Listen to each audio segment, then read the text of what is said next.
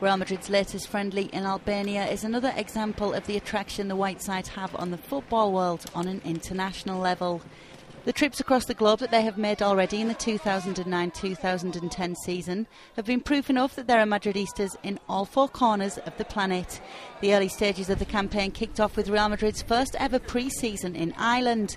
The players were welcomed by the locals with open arms, and for the 10 days that they were there, the fans turned out in force at the training ground each day to support their heroes.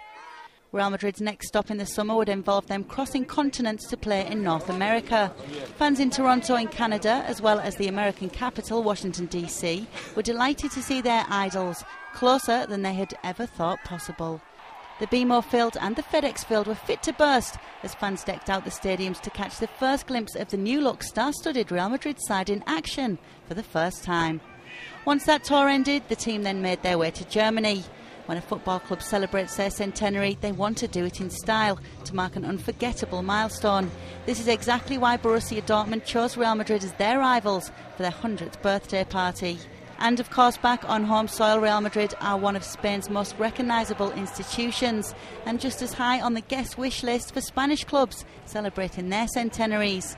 Real Sociedad's fans threw a party to be proud of for their 100 year celebration as Real Madrid played the last of their pre season friendlies ahead of the new campaign. And it was on Spanish soil that the 2009 edition of the Peace Cup was held, the first time it had been played outside of Korea since its inauguration. The prestigious tournament is considered to be the Champions League of the pre season, with some of football's biggest heavyweights invited to dispute the cup that promotes peace. It's no surprise then that in this edition Real Madrid were among the contenders, and as one of the world's most famous stadiums, the Santiago Bernabeu was one of the chosen locations to host the important competition. With a fan base that spans the planet, Real Madrid truly are the biggest club in the world.